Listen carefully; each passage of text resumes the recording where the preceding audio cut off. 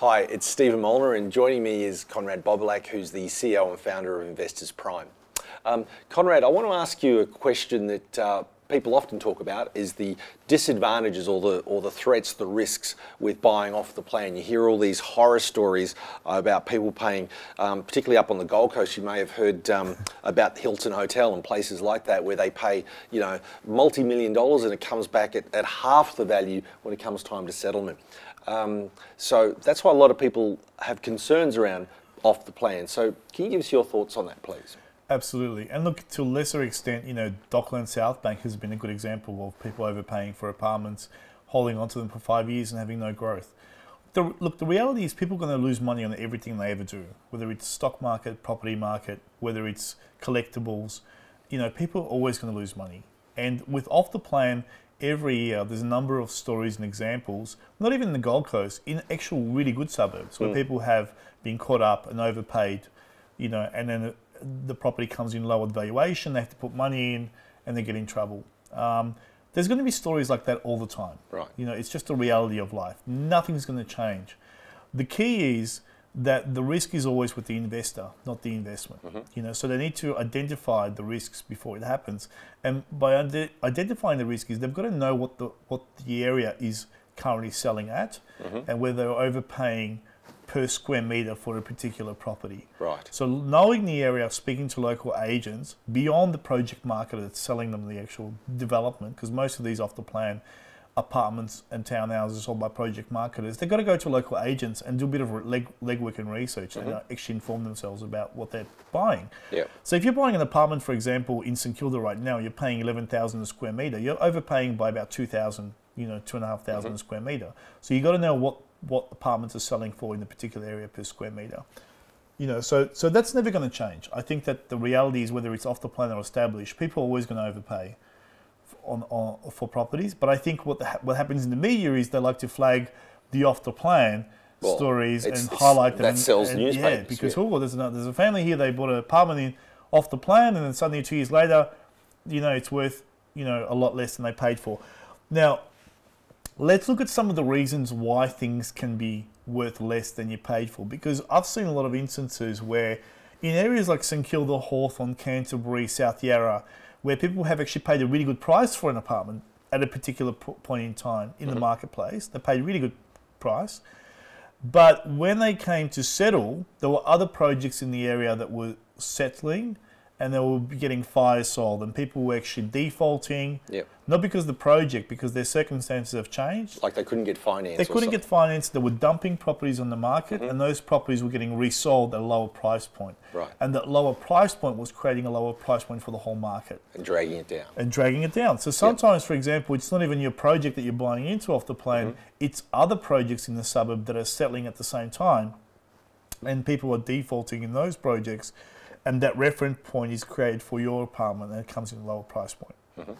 So, you know, number one is I guess if you're buying off the plan, you've always got to have a buffer where you can put in, you know, 20% into the property. So apart from the 10%, 10% deposit that you're paying, even though if you're pre-approved for 90% lending, you should have another 10% up your sleeve somewhere in equity mm-hmm. as a plan B. Yeah. If the property comes in low or if the lender changes policy because a lot of lenders now are changing their policies and a lot of people got caught up where they were pre-approved for a particular amount of, of money, you know, for example, 90% LVR. When it comes time to settle, that product that was approved for two years ago no longer exists. The circumstances have changed or the credit policy has changed. Mm. Now they can only borrow 80%. What do you do? That happened recently with a lot of the um, APRA changes from the regulator, correct? Absolutely. APRA changed the, you know, influenced um, I think it's about 16 lenders mm-hmm. that um, in Australia that um, because most most of them don't actually care what APRA does, but the 16 main ones that actually do matter um, were being pressured to reduce their investment book exposure, mm-hmm. and they were the way they did that wasn't to reduce interest rates so much, was to increase their credit scoring and make it harder for investors to get a certain amount of money, yep. and also the LVRs went down considerably. So people had to put more money into the into the deal. If they uh, have the money. If they have the money. If they haven't got the money, they, they the developer can actually keep the deposit and sue them for the balance. And then resell it. And resell it, and, and that drags down the price. Absolutely. Right. So that happens. Look, that's always going to happen. Mm-hmm. You know, it's the reality of, of, of the market, and it's never going to change. It's like, are people going to lose money in the stock market? Absolutely. Are they going to make money in the stock market? Absolutely. Yep. You know, what's new? Um, so I think it's about educating yourself, is having a plan B, and also, you know, a lot of investors um, they they actually look at that as opportunity. You know, um, if you are in contact with local agents and you you do see properties that have the fundamentals getting fire sold, it's a good time to pick up a bargain. You know, I mean, one thing that amazes me about property investing is if you look at annual sales, we always wait to, to the end of the year to, to do our shopping. I, I buy, you know, I buy three suits every year on sale. You know, um, I buy appliances on sale, everything. You know, but why is it with property people are scared to buy at the lowest point in the market? You know, I mean, historically, it's always bounced it back up, but people have this inclination thinking of that, that you know the sky's falling every time the market is a correction. But at the same time, if there's a development that's getting that's that's got uh, you know good location, good price point, but it's getting a few properties are getting liquidated, it's a really good time to jump in and pick up Yeah. pick up a really good property at a bargain price. So I think I think number one is there's a risk to everything. Number two is the risk is usually the majority of the risk lies with the investor. It's about doing research and having a plan B.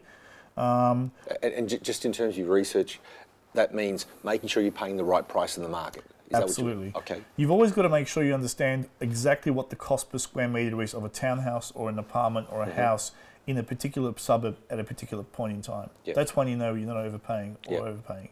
And look, the reality is a lot of owner occupiers are happy to overpay, you know, for properties. I've been to a lot of auctions Mm. the last two years where I've seen houses sell for 10, 15% above vendor's reserve. And to me, the market is always vendor's reserve because Mm. Yeah. vendors are always unrealistic. They always think that their house is worth more than they should have. Mm. And I've seen property sell for 200,000 above vendor's reserve, you know, because people are just emotionally attached to a property.